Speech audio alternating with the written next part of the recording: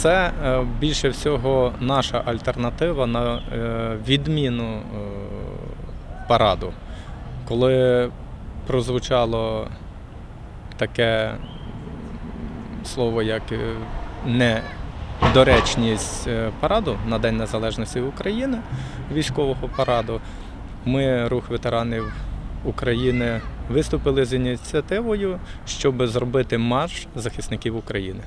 Присутність, велика кількість, присутність тих людей, які захищали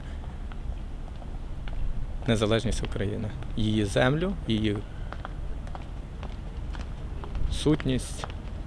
Будуть волонтери, будуть сім'ї загиблих, будуть всі бажаючі, ті, які бачать е, День Незалежності як день, коли вони можуть висловити в столиці України подяку, шану і пам'ять про тих людей, яких з нами немає, які нас захищають і які нас захищали.